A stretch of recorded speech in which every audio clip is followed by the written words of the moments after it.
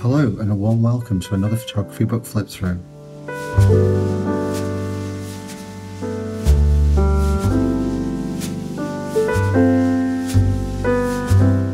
Loretta Lux's dreamlike portraits explore the nature of childhood and the process of self discovery in this self titled book published in 2005 by Aperture.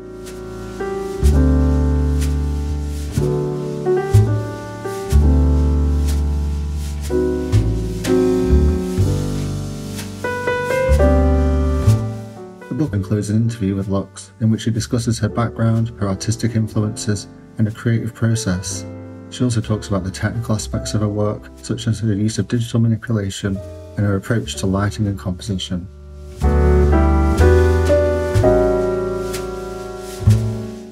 Loretta Lux is a German photographer known for her surreal and ethereal portraits of children. The book features more than 70 of her photographs showcasing her unique style and vision. Lux's work can be characterized by her use of digital manipulation to create dreamlike and otherworldly scenes. She often uses these techniques to add elements to her photographs that would be impossible to capture in a single image, such as ghostly figures or floating objects. She often works with real children as her subjects, and she uses photography to explore their inner lives and emotions. In many of her images, the children are shown in moments of contemplation introspection, or vulnerability, giving her work a sense of intimacy and authenticity. Loretta Lux is a stunning collection of photographs that showcases the artist's unique vision and talent.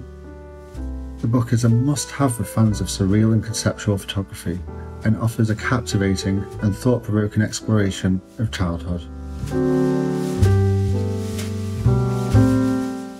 Loretta Lux is a talented and innovative photographer whose work has had a profound impact on the field of photography. Her surreal, ethereal images of children are both beautiful and thought provoking, and they continue to inspire and intrigue viewers around the world. That's all from me for now. Let's enjoy flipping through this book together.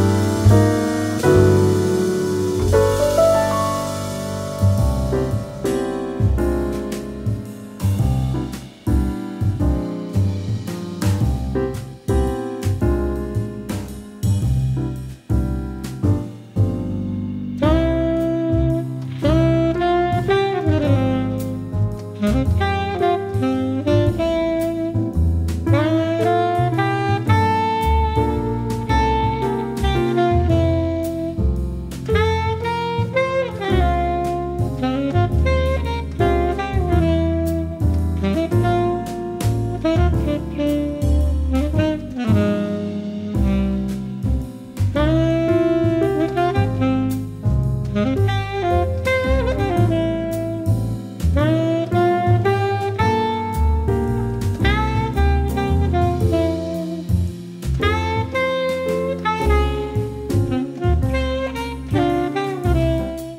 you so much for watching until the end. Please consider subscribing if you haven't already, and I highly recommend you watch this video next.